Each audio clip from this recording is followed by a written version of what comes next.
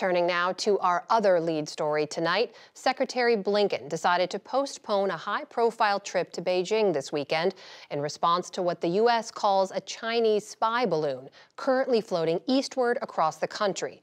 Nick Schifrin has that story. It's about 5:30 on Wednesday, February 1st, 2023. It was first spotted over Montana.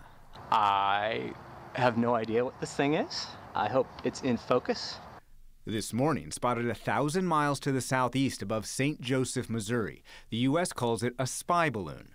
Beijing today called it a civilian airship used for research, mainly meteorological purposes, that deviated far from its planned course. The Chinese side regrets the unintended entry of the airship into U.S. airspace due to force majeure, or uncontrolled forces.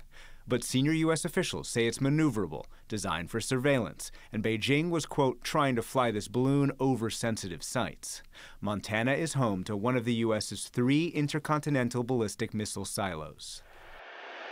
Yesterday, the U.S. mobilized F 22 jets. But administration officials says President Biden took his military advisor's advice and decided not to shoot the balloon down because of the risk to people on the ground we do recognize that uh, any potential debris field would be significant uh, and potentially cause civilian uh, injuries or deaths uh, or significant property damage.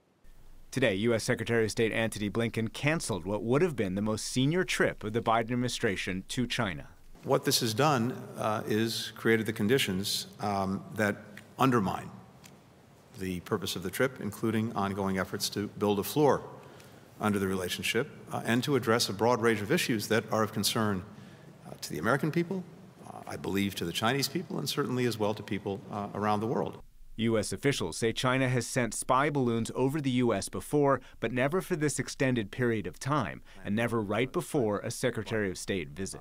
The most important thing right now in the moment is uh, to see that this surveillance asset gets out of our airspace but House Foreign Affairs Committee Chairman Representative Mike McCaul said the administration should have shot it down earlier. This balloon should have never been allowed to enter U.S. airspace. It now poses a direct and ongoing national security threat to the U.S. homeland. It's certainly not a standard weather balloon. That's a given. Paul Fetkowitz owns Kaymont Consolidated Industries, the largest American provider of meteorological balloons to the U.S. government, including the military. We can see on it that there's a solar arrays to, to have a battery power, you know, to supply power to maybe a camera, uh, maybe a heat source. The fact that they don't want us to gently bring the balloon down in our territory and have us go grab it for them is it's kind of saying something to me that they don't want they don't want anybody to get their hands on this balloon. We got this weird thing above a, this thing is weird. The current trajectory shows the balloon will float toward the Atlantic Ocean. U.S. officials won't reveal their plans other than to say they're monitoring. For the PBS NewsHour, I'm Nick Schifrin.